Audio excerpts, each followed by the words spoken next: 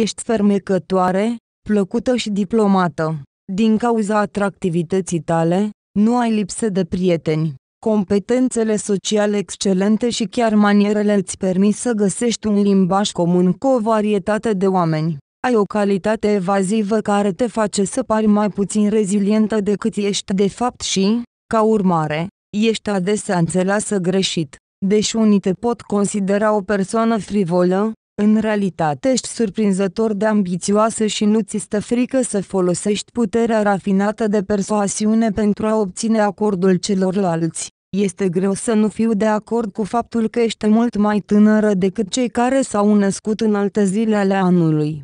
De fapt, dacă ne determinăm vârsta prin numărarea zilelor noastre de naștere, atunci se pare că tu ești exact de patru ori mai tânără decât ceilalți. La urma urmei, 29 februarie nu se întâmplă în fiecare an. Prin urmare, pot spune că ești pentru totdeauna tânără. După cum știi, 29 februarie este o zi unică, care a fost introdusă artificial pentru a încerca să compenseze omenirea pentru faptul că anul este de fapt cu 6 ore mai lung de 365 de zile. Această zi 366 a fost inventată de împăratul roman Iulius Cezar, care a decis că 29 februarie va apărea în calendar doar o dată la patru ani. Semnul tău zodiacal aparține constelației peștilor. Peștii sunt direct legați de semnele elementului apă, care se disting prin următoarele calități, deschidere, liniște, delicatețe, visare, dorință de confort și frumusețe, empatie. Două planete te guvernează, Jupiter îți asigură reîncărcare de energie, ajutându-te nu numai să mergi cu cărdul, ci și să alegi propriile direcții de viață. Neptun te înzestrează generos cu imaginație și chiar fantezie. Dezinteresul și percepția hiperactivă pot fi atât o binecuvântare, cât și o problemă pentru tine, totul depinde de situația specifică. Ai o relație dificilă cu religia, te străduiești pentru credință, în timp ce te bazezi intuitiv pe karmă și soarta inexorabilă. Este necesar doar să te asiguri că imaginația bogată nu te conduce pe calea greșită a mirajelor, deoarece distorsiunile în percepția lumii îngreunează comunicarea, făcându-te excentrică. Găsindu-te sub egida lui Jupiter și a lui Neptun, tu diferi prin trăsături de caracter surprinzător de contradictorii. Așa că ar trebui să fii atentă, Sârguința în atingerea obiectivelor poate merge ușor în slăbiciunea mersului cu cărdul. Dezinteresul combinat cu o cantitate corectă de fatalism îți poate juca, de asemenea, diferite glume amuzante. De exemplu, poți căuta credința în Dumnezeu, și în același timp să ai tendința să te încrezi în karma și soartă. Intuție excelentă, umorul bogat, prietenia fermecătoare sunt combinate în tine cu o tendință de a te desprinde de realitate, pierdută într-o lume de fantezie și miraje. Prin urmare, trebuie să fii atentă la imersiune în pasiuni excesive. Planeta ta guvernatoare este Neptun. De la Neptun primești darul providenței, iertarea. Această planetă este patronul principal al medicilor. Planeta ta în exil este Mercur. Lui Mercur îi poți mulțumi pentru lipsa de critică, precum și de incapacitatea de a sparge fenomenul în componente. Ai o carismă plăcută, farmec, tact, politețe și diplomație. Carisma ta atrage un număr mare de oameni, mulți dintre ei devenind prieteni. Te întâlnești ușor cu tot felul de oameni, știi cum să găsești o abordare pentru toată lumea, ești în mare măsură facilitată de maniere politicoase. Cu toate acestea, ești adesea considerată mai puțin optimistă decât în realitate și nu ești întotdeauna înțeleasă corect. Se întâmplă că ești considerată în mod inutil neglijentă, dar aceasta este o iluzie. Ai ambiții serioase, nu te temi să manipulezi alte persoane, știi să convingi că ai dreptate și folosești cu bunăvoință darul tău pentru a influența mulțime. Ai un aspect tânăr, la fel ca și pisicile, ai nouă vieți și ai capacitatea de a evita în mod constant situațiile periculoase. Acțiunile tale pot fi considerate drept confirmarea unei date neobișnuite a nașterii. Începi să înțelegi de vreme că ești neobișnuită, Percepția ta despre realitate pare ciudată, dar nu este deloc stupidă. Din moment ce ziua ta de naștere este un eveniment rar, special, ai tendința să vezi ceva remarcabil în acele aspecte ale vieții pe care alții le-ar lua de la sine înțelese. În cel mai bun caz, ești ca un copil care prețuiește jucării simple. ori îți demonstrezi unicitatea față de ceilalți. Încerci să te apropii de oamenii obișnuiți. Din acest motiv, ești mai înclinată să lucrezi în asociere cu interesele umane normale, permițând rezolvarea problemelor vieții de zi cu zi. Imaginația ta turbulentă și fantezia sunt exprimate în casă, nu în societate. Și totuși, nu trebuie să renunți la individualitatea ta pentru a deveni obișnuită. În același timp, ar fi destul de bine pentru tine să renunți la acele obiceiuri care uneori provoacă confuzie printre ceilalți. Dar dacă a scăpat de neajunsurile tale devin un scop în sine pentru tine, atunci cuvintele îmbunătățire, regulament vor fi sinonime cu cuvântul suprimare. Tu încerci să compensezi defectele tale reale și imaginate. Dacă faci acest lucru prin aspirații ambițioase de succes, ești expusă riscului de a ceda tentației de a te înălța exorbitant pe tine însăți. Pe de altă parte, dacă te sustragi din modă deliberată de la problemele vieții, poți deveni în cele din urmă o idealistă romantică care se ocupă de ea însă și, și trăiește în lumea ei fictivă. Ar trebui să încerci să eviți acest tip de extreme și să găsești un drum de mijloc în viața ta. Nu ești similară cu alții nativi din pește având astfel de calități, ești inteligentă, atentă, plină de compasiune, ești tineră, fermecătoare, subțire și misterioasă, atrage bărbații cu vulnerabilitatea și lipsa ta de apărare. Feminitatea și slăbiciunea ta reprezintă principala ta grevă, creând o atmosferă de mister în jurul tău. Dispoziția ta nu este ușor de realizat și acesta este motivul pentru care uneori această dispoziție face să nu controlezi emoțiile. Cele mai puternice caracteristicele tale sunt feminitatea și abilitatea de a dispune în mod corespunzător de caracteristicile semnului, respectiv fragilitatea și moliciunea. Cum afectează data de 29 februarie soarta ta? Arăți mult mai tânără decât vârsta ta reală. Uneori, acțiunile tale sunt departe de logică, comportamentul tău poate fi complet irațional.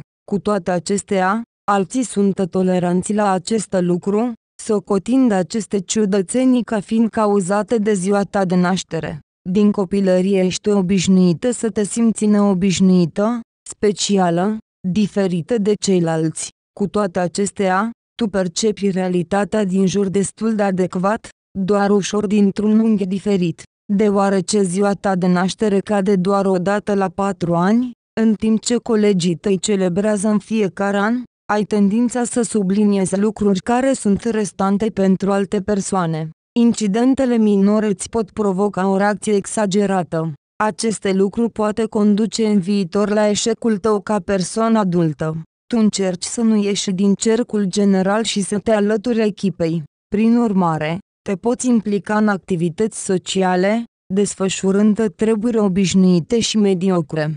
Dai frâul liber imaginației tale bogate acasă, singură cu tine însă îți încerci să distrugi în tine cel mai mic indiciu de defecte, încercând să respecti standardele general acceptate sau, refuzând categoric orice schimbare, devii complet romantică. Dragoste și compatibilitate. Într-o relație intimă, ești un partener dedicat, iubitor și generos.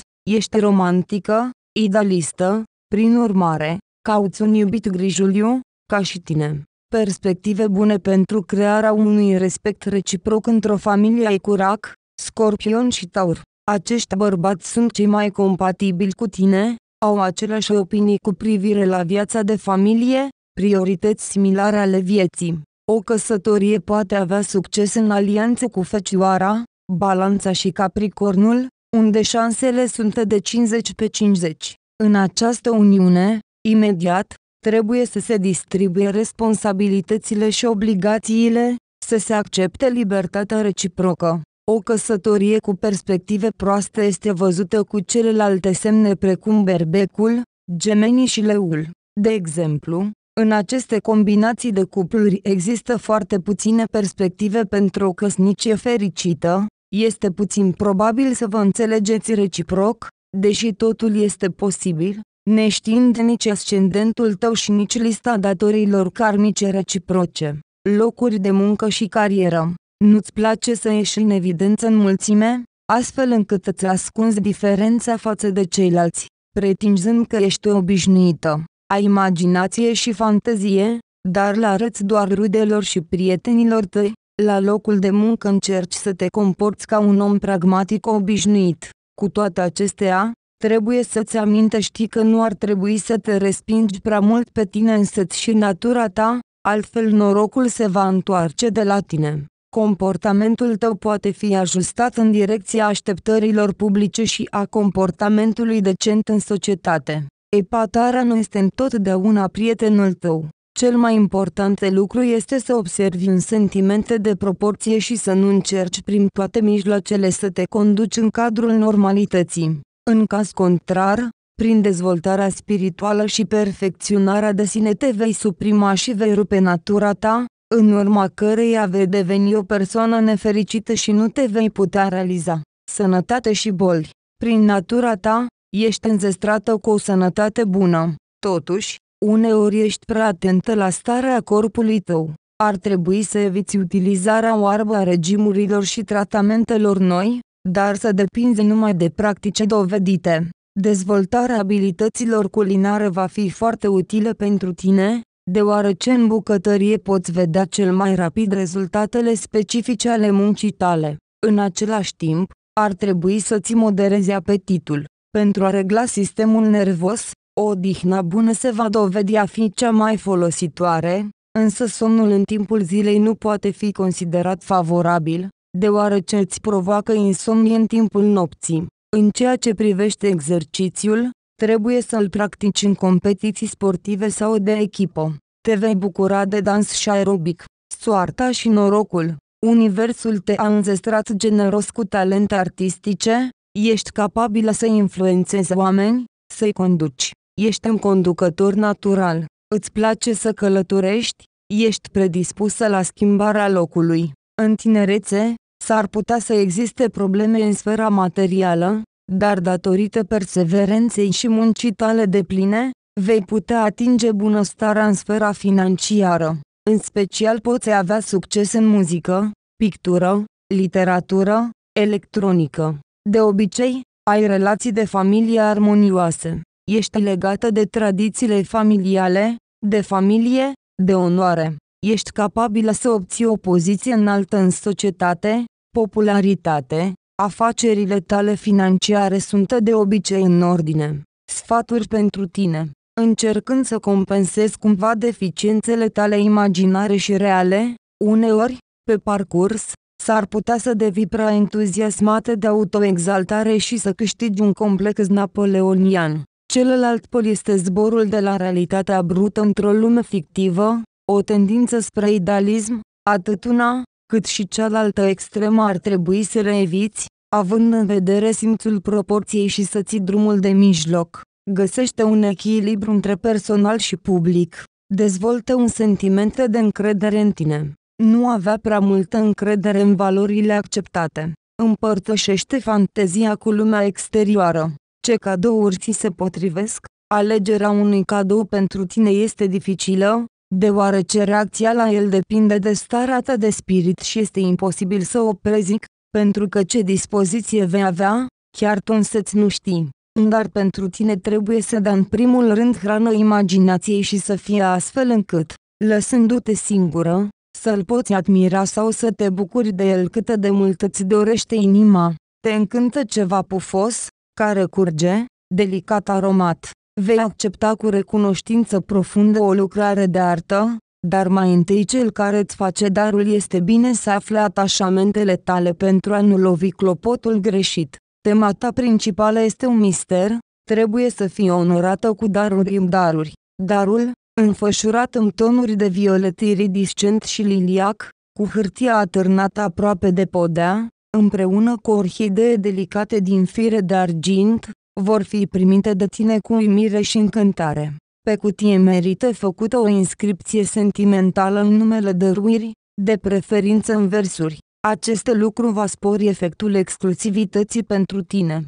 O seară romantică cu lumânări și muzică clasică, o excursie de două-trei zile pe o coastă caldă, chiar și un coș de petale de trandafir pentru baie, acestea sunt cele mai binevenite cadouri pentru tine.